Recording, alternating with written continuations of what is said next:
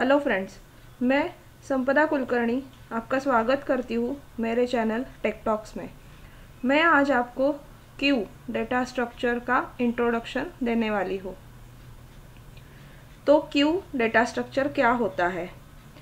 सबसे पहले हमें पता होना चाहिए कि डेटा स्ट्रक्चर क्या होता है। तो डेटा स्ट्रक्चर के बारे में अगर आपको ज़्यादा इन्फॉर्मेशन चाहिए तो आप मेरे चैनल के इंट्रोडक्शन टू डेटा स्ट्रक्चर का वीडियो देख सकते हो। आपके सुविधा के लिए मैं यहाँ पे उसका शॉर्टकट डिस्प्ले कर रही हूँ। तो स्टार्ट करते हैं क्यू क्या होता है? तो क्यू जो होता है, वो होता है non primitive and linear data structure non primitive इसका मतलब जो प्रिमिटिव नहीं है, जो प्रिमिटिव की मदद से हम कंस्ट्रक्ट कर सकते हैं, उसे हम बोलते हैं नॉन प्रिमिटिव डेटा स्ट्रक्चर तो क्यू डेटा स्ट्रक्चर जो है, वो हम with the help of primitive data structure construct कर सकते हैं. और लीनियर डेटा स्ट्रक्चर क्या होता है? जो कि लीनियरली ग्रो होता है. ये सारी चीज़ें आपको इंट्रोडक्शन टू डेटा स्ट्रक्चर्स के वीडियो में मिल जाएगी. अभी हम अगला पॉइंट देखते हैं कि क्यू जो होता है, वो होता है बेसिक डेटा स्ट्रक्चर जिस पे हम दो ऑपरेशंस परफॉर्म कर सकते हैं। पहला तो है इंसर्शन ऑपरेशन दूसरा जो है वो है डिलीशन ऑपरेशन और ये जो ऑपरेशन हम परफॉर्म करते हैं वो सेपरेट एंड पे हम परफॉर्म करते हैं। अगर आपको स्टैक डेटा स्ट्रक्चर पता है तो आपको इसका डिफरेंस uh, समझ में आएगा कि स्टैक डेटा स्ट्रक्चर जो होता है वो भी बेसिक डेटा स्ट्रक्चर होता है पर जिस पर हम सिर्फ़ जो ऑपरेशन परफॉर्म करने वाले हैं इंसर्शन एंड डिलीशन ऑपरेशन वो सिर्फ़ एक ही एंड पे परफॉर्म करते हैं। उस एंड को हम टॉप ऑफ़ द स्टैक बोलते हैं। ज़्यादा जानकारी के लिए आप मेरा introduction to stack data structure वाला वीडियो भी देख सकते हो। उसका भी शॉर्टकट लिंक मैं यहाँ पे प्रोवाइड कर रही हूँ। तो आई जस्ट वॉन्ट टू से कि पहले आप introduction to data structure and stack data structure पढ़ लीजिए, देख लीजिए, और उसके बाद ये क्यू डेटा स्ट्रक्चर को कंटिन्यू कीजिए। तो फ़िलहाल मैं ये मानती हूँ कि आप लोगों को इंट्रोडक्शन टू डेटा स्ट्रक्चर्स पता है स्टैक डेटा स्ट्रक्चर पता है, और अभी आप लोग क्यू डेटा स्ट्रक्चर के बारे में ज़्यादा जानकारी जानना चाहते हैं। तो ये जो मैंने अभी बोला कि इंसर्शन एंड डिलीशन ऑपरेशन हम परफॉर्म करते हैं, वो जो है वो सेपरेट एंड पे परफॉर्म करते हैं। उस एंड को हम क्या बोलते हैं? तो जिस एंड पे हम डेटा इंसर्ट करते हैं ऐड करते हैं, उस एंड को हम बोलते हैं रेयर एंड और जिस एंड का डेटा हम डिलीट करते हैं, उस एंड को हम बोलते हैं फ्रंट एंड यहाँ पे मैंने एक छोटा सा एग्ज़ाम्पल दिया हुआ है। ये एक क्यू है जिसमें ये महिला सबसे आगे खड़ी है तो ये हो गया हमारा फ्रंट एंड और ये हो गया हमारा रेयर एंड क्योंकि इस एंड से लोग इस क्यू में इंसर्ट हो रहे हैं। तो जो सबसे पहले आगे आके खड़ी हो गई है, ये हो गया हमारा फ्रंट एंड और वो सबसे पहले डिलीट होने वाली है एग्जिट होने वाली ही ये वाली क्यू से। अभी हम देखते हैं, जो मैंने अभी थोड़ी देर पहले बोला कि सबसे आगे खड़ी है, वो सबसे पहले डिलीट होने वाली है। इसे क्या बोलते हैं और इसको कैसे एक्सप्लेन किया जाता है, वो मैं आपको अभी बताने वाली हूँ। तो यहाँ पे मैंने ऐसे लिखा हुआ है कि जो हम इंसर्ट ऑपरेशन करते हैं, वो करते हैं हम रेयर एंड पे। जो हम डिलीट ऑपरेशन करते हैं, वो हम करते हैं फ्रंट एंड पे। तो ऑब्वियसली क्या होता है? जो सबसे पहले इंसर्ट होता है, वही सबसे पहले डिलीट होता है। तो ये जो बिहेवियर है क्यू का, इसको, इस बिहेवियर को, इस प्रॉपर्टी को हम बोलते हैं first in first out property जो सबसे पहले इन होता है, वही सबसे पहले आउट होता है।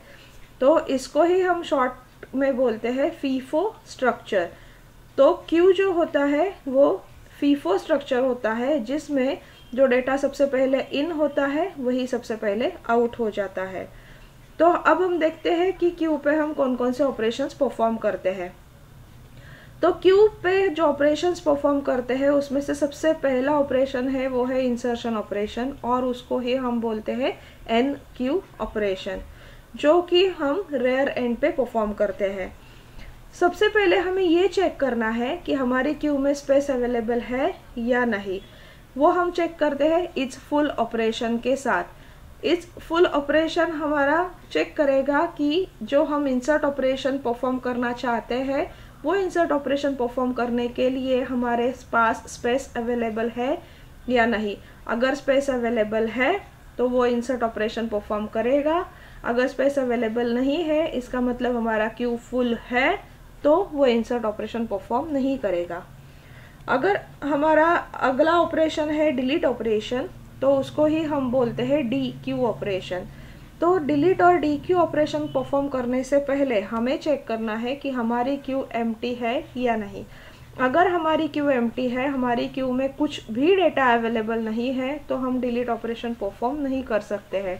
अगर हमारी क्यू में डेटा अवेलेबल है, इसका मतलब हमारा क्यू एम नहीं है तो ही हम डिलीट ऑपरेशन परफॉर्म कर सकते हैं। ये जो डिलीट ऑपरेशन है, वो कौन सी एंड पे परफॉर्म होगा? तो वो हो जाएगा फ्रंट एंड पे।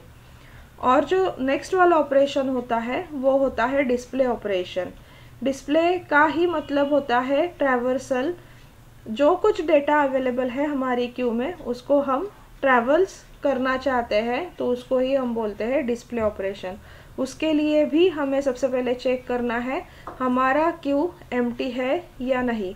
अगर हमारा क्यू एम है तो हम डिस्प्ले ऑपरेशन परफॉर्म नहीं करेंगे।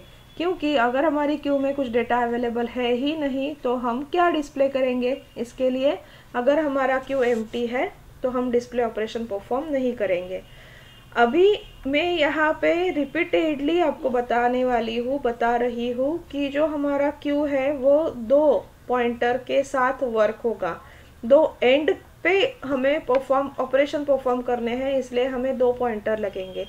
तो जो जब हम इंसर्शन ऑपरेशन परफॉर्म करने वाले हैं तो हम रेयर पॉइंटर यूज़ करेंगे।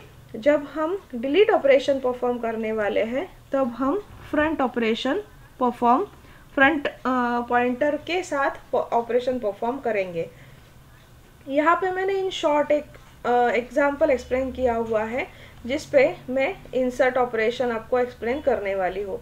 ये हमारा क्यू हो गया, जिस पे फ़िलहाल तीन एलिमेंट्स अवेलेबल है, जो कि ए बी एंड सी ए हमारा सबसे पहले क्यू में इंसर्ट हुआ है, इसलिए वो जाके बैठ गया है फ्रंट पे। उसके बाद बी और उसके बाद सी सो अभी फ़िलहाल हमारा जो सी एलिमेंट है, वो हमारा रेयर एंड पे अवेलेबल है। अभी मुझे इंसर्ट ऑपरेशन परफॉर्म करना है। जो हमारा नया डेटा है डी डेटा है, वो हमें क्यू में इंसर्ट करना है। तो वो कौन से एंड पे इंसर्ट होगा? ऑब्वियसली इंसर्शन ऑपरेशन जो है, वो परफॉर्म होगा रेयर एंड पे। तो वो जो नया डेटा अभी इंसर्ट हो रहा है, वो हो गया रेयर एंड पे। तो जो हमारा रेयर पॉइंटर होगा, वो अपडेट हो गया, जो कि पहले सी पे था, अभी इंसर्ट होने के बाद वो हो गया डी पे, वो सेट हो गया। वो हमें बता रहा है कि अब जो लेटेस्ट एलिमेंट है इंसर्टेड हमारी क्यू पे वो है डी तो आप देख सकते हो कि इंसर्शन ऑपरेशन करने से पहले फ्रंट का पोजीशन जो था, वो सेम पोजीशन है इंसर्ट ऑपरेशन परफॉर्म करने के बाद। और जो रेयर का पोजीशन था इंसर्ट ऑपरेशन करने से पहले वो था सी एलिमेंट पे, जो कि इंसर्ट ऑपरेशन परफॉर्म करने के बाद हो रहा है डी एलिमेंट पे। तो जो चेंज हो रहा है, वो हो रहा है रेयर एंड पे, क्योंकि हम यहाँ पे इंसर्ट ऑपरेशन परफॉर्म कर रहे हैं। अभी मैं आपको डिलीट ऑपरेशन एक्सप्लेन करने वाली हूँ, जिस पे हम ये वाला जो क्यू है अभी इंसर्ट होने के बाद, वही क्यू पे हम डिलीट ऑपरेशन परफॉर्म करेंगे। तो फ़िलहाल हमारा जो एलिमेंट प्रेजेंट है in the front of queue वो है ए और जो हमारा एलिमेंट प्रेजेंट है, वो at the end of queue और रेयर एंड पे जो है, वो एलिमेंट है डी तो ये हो गया हमारा डिलीट ऑपरेशन परफॉर्म करने से पहले हमारी क्यू का स्टेटस अभी डिलीट ऑपरेशन जो हम परफॉर्म करने वाले हैं और डी क्यू ऑपरेशन जो हम परफॉर्म करने वाले हैं, वो डी क्यू ऑपरेशन परफॉर्म होगा फ्रंट एंड पे. जो हमारा फ्रंट एंड है, वो और जो डेटा हमारा फ्रंट एंड पे अवेलेबल है, वो हम यहाँ पे डिलीट करने वाले हैं. तो हमारा एलिमेंट ए जो है, वो फ्रंट एंड पे अवेलेबल है, वो हम अभी डिलीट करेंगे इसका मतलब वो ए जो डेटा है हमारा सॉरी जो ए डेटा है हमारा, वो हम क्यू से बाहर निकालेंगे एग्जिट करेंगे। तो वो डी क्यू ऑपरेशन परफॉर्म करने के बाद जो हमारा है, वो फ्रंट वेरिएबल फ्रंट पॉइंटर हमारा अपडेट हो जाएगा। तो वो आ जाएगा हमारी नेक्स्ट एलिमेंट पे। जो नेक्स्ट एलिमेंट हमारा है, वो है एलिमेंट बी तो अभी मेरा मेरा फ्रंट पॉइंटर जो है, वो बी को पॉइंट करेगा।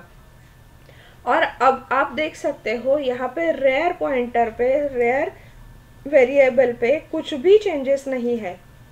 क्योंकि हम जो डिलीट ऑपरेशन परफॉर्म करने वाले हैं, वो परफॉर्म होता है at the front end of queue और जो इंसर्ट ऑपरेशन परफॉर्म करते हैं, वो at the rear end of a queue तो यहाँ पे आप देख सकते हो, जब हम इंसर्ट ऑपरेशन परफॉर्म करते हैं तो जो चेंजेस होते हैं, वो होते हैं रेयर एंड पे.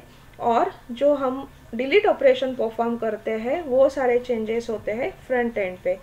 इस वीडियो में मैंने ये एक छोटा सा और सिंपल एग्जांपल लेके आप लोगों को एक्सप्लेन करने की कोशिश की है कि इंसर्ट ऑपरेशन में क्या होता है और डिलीट ऑपरेशन में क्या होता है।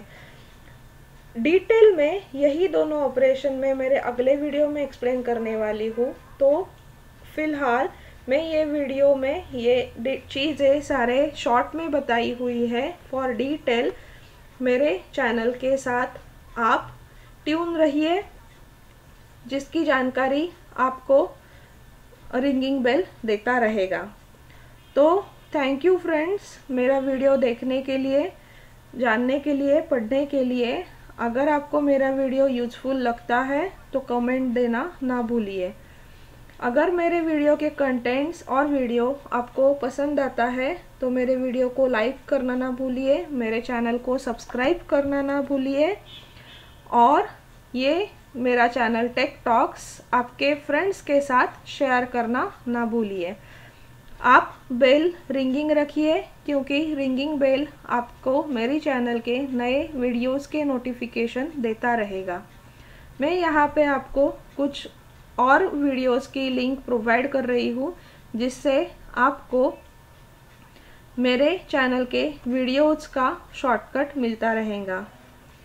So thank you friends for listening my video